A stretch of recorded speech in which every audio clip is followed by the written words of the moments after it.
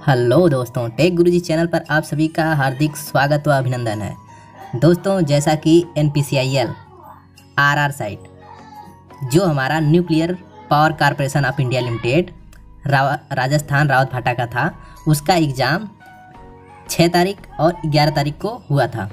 तो जो ग्यारह तारीख के एग्ज़ाम में फीटर, इलेक्ट्रीशियन और वेल्डर इत्यादि जो लोगों ने एग्ज़ाम दिया है, उनका रिज़ल्ट आ गया है।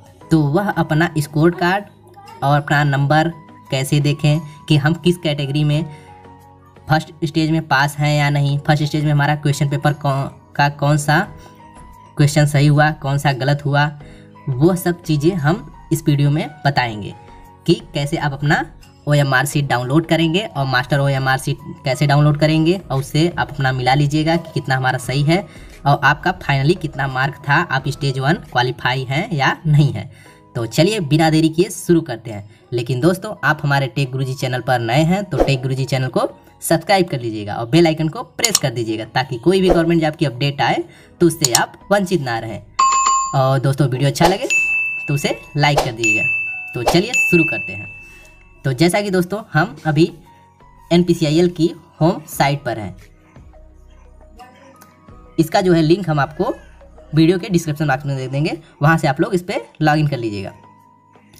अब यहाँ से ये हम इसकी होम साइट पे आ गए हैं और यहाँ से हम चलेंगे लॉगिन पर। यहाँ से इस लॉगिन पर हम क्लिक करेंगे। लॉगिन पर क्लिक करने के बाद यहाँ पे देखिए हमसे मांग रहा है लॉगिन आईडी और पासवर्ड तो जो हमारी लॉगिन आईडी है पासवर्ड है, आप फॉर्म भरते समय लॉगिन आईडी और पासवर्ड बनाए होंगे तो उसे आप यहाँ से ओपन कर लेंगे। डालने के बाद लॉगिन कर लिए। अब यहाँ से इसको ओके करने के बाद ये आपका खुलकर आ गया। अब यहाँ से जो है, हम अप्लाई वाले पर टच करेंगे। अप्लाई पर आने के बाद आपको एप्लीकेशन स्टेटस पर जाना है। तो यहाँ से एप्लीकेशन स्टेटस पर क्लिक करने के बाद आपका यहाँ से देखिए रिज़ल्ट आ गया। यहाँ आप देखिए, नाम इनका है और बाकी यहाँ पे स्टेज वन का जो है, इनका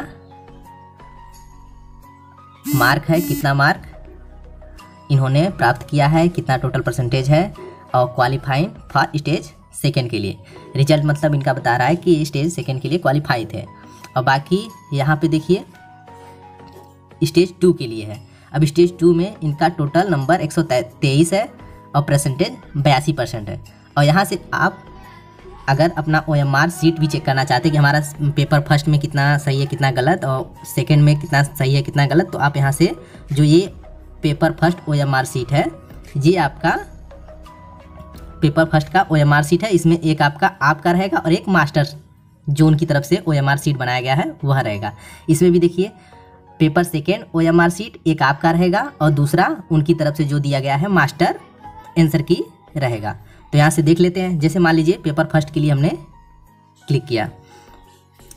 तो यहाँ से देखिए, जैसे इनका पेपर फ़र्स्ट का आ गया देखिए। नाम शशि शर्मा और इन्होंने जो अपना फिल किया है वह सब। फिर उसके बाद देखिए यहाँ से इन्होंने जो है, पहला क्वेश्चन का ए दिया है। और तीसरा क्वेश्चन नहीं किया है इन्होंने। तो इसके हिसाब से आप अपना जो है, ये कैंडिडेट का ओ एम आर सीट है स्टेज वन का। अब वही अगर हम स्टेज टू की बात करें, और इसको मिलाने के लिए तो यहाँ से जो है पेपर सेकेंड का master O M R sheet download कर लेंगे। देखिए यहाँ पे है master O M R for fitter तो यहाँ से ये फ़र्स्ट का हो गया, अब यहाँ से फ़र्स्ट का अपना मिला लेंगे और बाकी सेम ऐसे ही है। सेकेंड का भी आप डाउनलोड करके देख सकते हैं। ये सेकेंड पेपर का है। यहाँ पे देखिए, लिखा हुआ है अग्रीम एडवांस डेट वाला। तो ये हो गया। अब यहाँ से ये मास्टर वाला भी डाउनलोड करके देख सकते हैं। ये देखिए master O M R sheet है।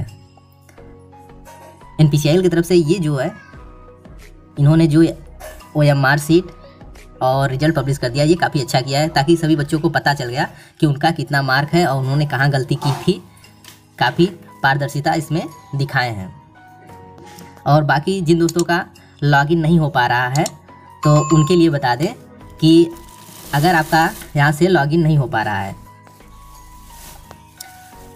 तो आप लॉगिन कैसे करेंगे? जैसे आप यहाँ पे लॉगिन पर टच कर रहे हैं, लेकिन आपका जो है लॉगिन आईडी और पासवर्ड जो आपका यहाँ पे जैसे हमने टच किया, ये जो है ओपन हो गया। अब इनका देखिए तो इनका जो है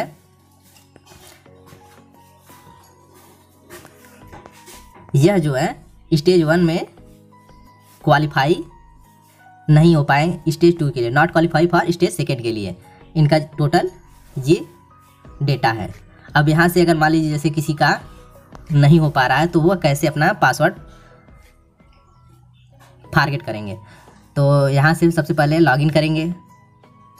लॉगिन करने के बाद जैसे मान लीजिए,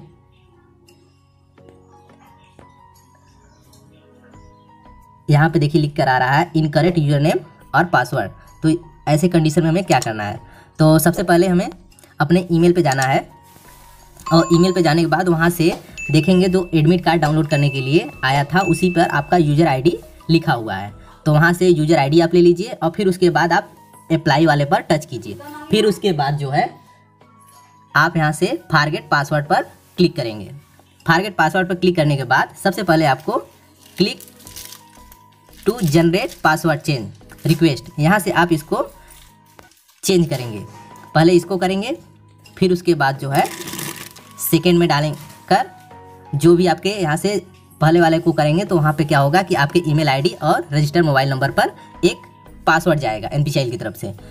वह पासवर्ड अब आप इस सेकेंड वाले पर रीसेट करने के लिए डालेंगे। जैसे दिखाएँ आपको तो। अब यहाँ देखिए हमने फ़र्स्ट पे क्लिक कर दिया। तो यहाँ पे देखिए आ आ रहा है यूज़र आईडी डालने के लिए। आप इसमें अपना ईमेल आईडी के द्वारा जो भी आया है एडमिट कार्ड वहाँ से यूज़र आईडी मिल जाएगा आपको। फिर यहाँ से डी डाल दीजिए। फिर उसके बाद ईमेल आईडी जो रजिस्टर्ड है, फिर उसके बाद यहाँ पर ये जो कैप्चा कोड है, ये डाल दीजिए। डालने के बाद आप यहाँ से जनरेट पासवर्ड चेंज रिक्वेस्ट यहाँ पर क्लिक करेंगे तो आपके ईमेल पर एक मैसेज जाएगा, जहाँ पर आपको दिया रहेगा कुछ अंक के पासवर्ड फिर वहाँ से आप क्या करेंगे, इसको टच करेंगे। सेकेंड वाले को। सेकेंड वाले को टच करने के बाद सेम वही user ID date of birth और ईमेल फिर न्यू पासवर्ड जो आप बनाना चाहते हैं। जैसे सबसे पहले अगर पासवर्ड बनाना तो कैपिटल में आपका जो भी है, जैसे कैपिटल में मान लो ए लिख दिए, फिर उसके बाद स्मॉल में लिख दीजिए, फिर उसके बाद दो अंक दे दीजिए, फिर कोई स्पेशल कैरेक्टर दीजिए। अब यहाँ से इतना करने के बाद आप यहाँ जो जी है हमारा। इसमें जो है, जो पासवर्ड आया है ईमेल पर वह डाल देंगे। फिर यहाँ पे कैप्चा कोड डालने के बाद क्रिएट न्यू पासवर्ड पर क्लिक कर देंगे, आपका पासवर्ड चेंज हो जाएगा। और फिर आप अपना जो है लॉगिन न्यू पासवर्ड से कर सकते हैं यूज़र आईडी डालकर। तो दोस्तों, वीडियो कैसा लगा? आप लोग कमेंट बॉक्स में ज़रूर बताइएगा और वीडियो को लाइक कर दीजिएगा, अपने दोस्तों के साथ इसे शेयर ज़रूर कर दीजिएगा। और चैनल पर नए हैं तो सब्सक्राइब ज़रूर कर दीजिएगा। ऐसे ही वीडियो पाने के लिए। तो मिलते हैं दोस्तों अगली वीडियो में, तब तक के लिए धन्यवाद।